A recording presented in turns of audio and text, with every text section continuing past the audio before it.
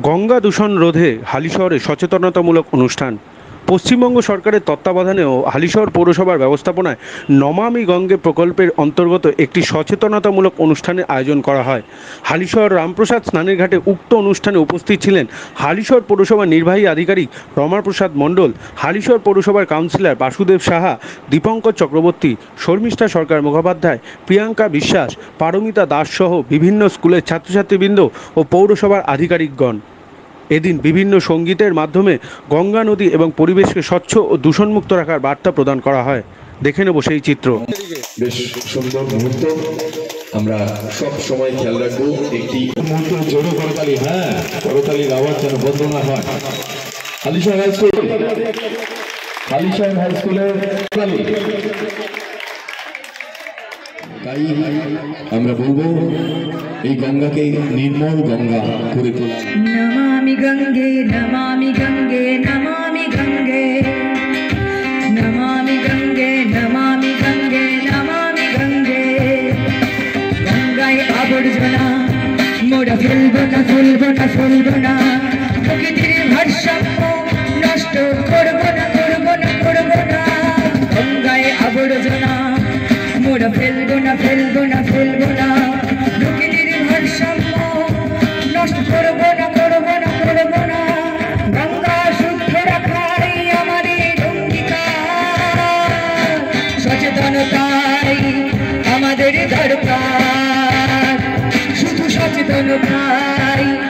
আমাদের দরকার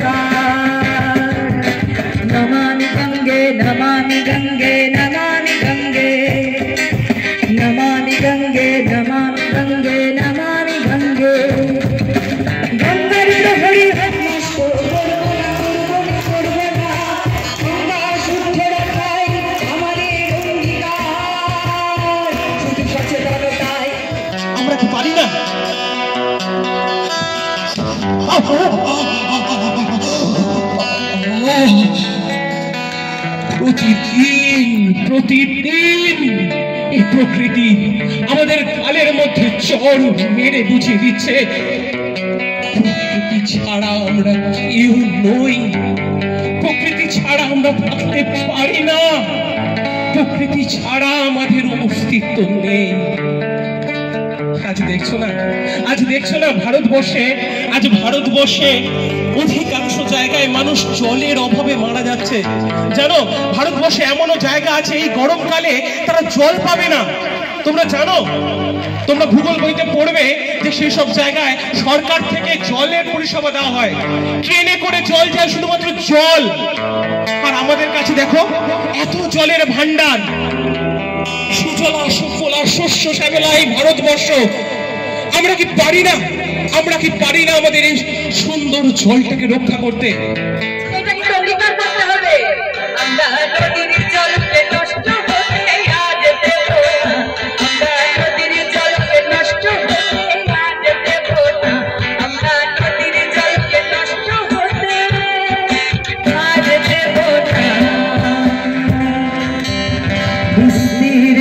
দুপারে অসংখ্য মানুষের হাহাকার শোনো নিঃশব্দে নীরবে, গঙ্গা তুমি, ও গঙ্গা কেন?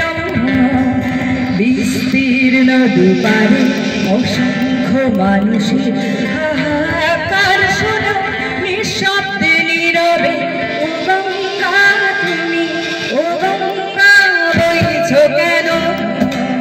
বিস্তীর্ণ দুপারে অসংখ্য মানুষের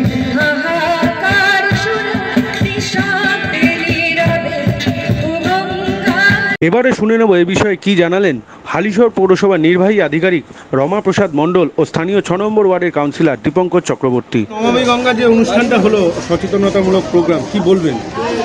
এটাতে বলব ফালিশহর পৌরসভা সচেতন রয়েছে। এবং সচেতনভাবেই কাজ করে চলেছে। মাঝে মাঝে আমাদের নাগরিকদের মধ্যে সেই সচেতনতার বার্তাটাকে আরেকটু নিবিড়ভাবে আমরা পৌঁছে দেওয়ার চেষ্টা করি। এটি এই প্রোগ্রামটা তারই অংশ মাত্র। কেমন সারা সারা খুবই ভালো পেয়েছি আমরা আমরা সময় বেশি পাইনি।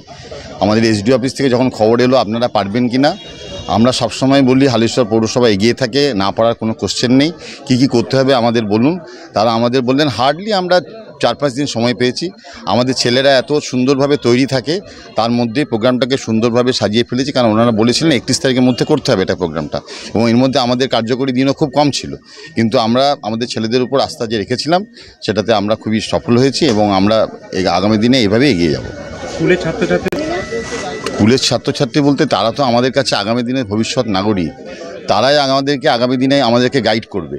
তাদেরকে আমরা ছোট থেকেই এই ব্যাপারগুলো শিখিয়ে দিচ্ছি যাতে কীভাবে চলতে হবে। অর্থাৎ কোনোভাবেই কোনো জায়গাকে অপরিষ্কার রাখা যাবে না এবং সেই বার্তাটা তারা তাদের নিজেদের পরিবারের মধ্যে, কারণ বিভিন্ন আর্থসামাজিক পরিস্থিতিতে বিভিন্ন ধরনের পরিবার থেকে বাচ্চারা আসে, এটা আমাদের মাথায় রাখতে হবে। অনেকে ফার্স্ট এডুকেশন জেনারেশন লার্নারও থাকে। সুতরাং তাদের কাছে সেই সচেতনতা বার্তা অনেকের পরিবারের কাছে সঠিকভাবে থাকে না। সেটাই আমরা চেষ্টা করছি এদের মাধ্যমে পৌঁছে দেওয়ার।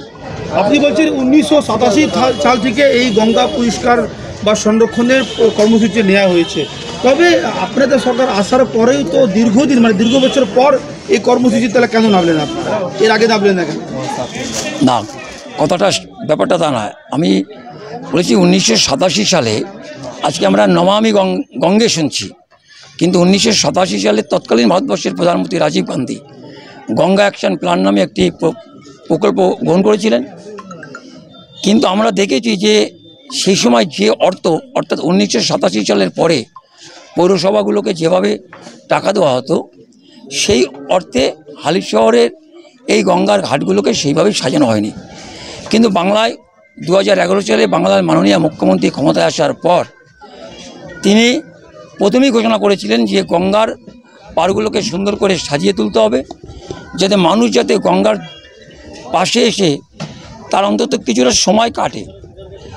মুক্ত বাতাস, নির্মল বাতাস যাতে সে পায়।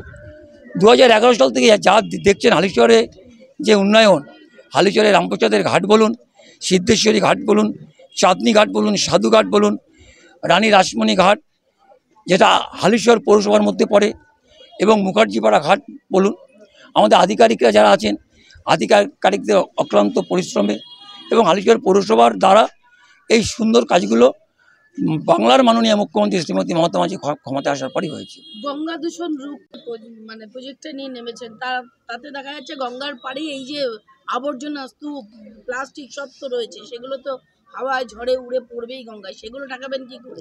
গঙ্গার পাশে প্রচুর আবর্জনা না হালিশহর পৌরসভা প্রতিনিয়ত মাইকে প্রচার করছে। আমরাও কাউন্সিলররা বিভিন্ন কাউন্সিলররা তার এলাকায় বলছেন আমরা চেষ্টা করছি ধরুন একদিনে মানুষের এই যেটা আমাদের ই- ইও সাহেব বললেন একদিনই আসবে না। তবে মানুষের মধ্যে অনেক সচেতনতা এসছে। আগে দুর্গাপূজা হলে পরে, কালী পুজো হলে পরে আমরা সমস্ত কিছুই গঙ্গায় ফেলতাম।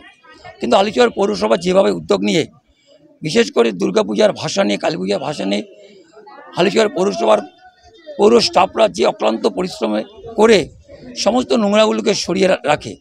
এবং আমরা চেষ্টা করছি ইয়োসব আজকে বলেছে যে উনিও ঘুরবেন। গঙ্গার প্রত্যেকটা পারে পারে উনি বলেছেন, আমিও আপনাদেরকে নিয়ে ঘুরবো। ভাইস চেয়ারম্যান থাকবে সবাই থাকব। যাতে গঙ্গার পারে কোনো নোংরা না থাকে। হালিশহর থেকে আকাশ ভট্টাচার্য ও Sonali Banerjee report the regular news.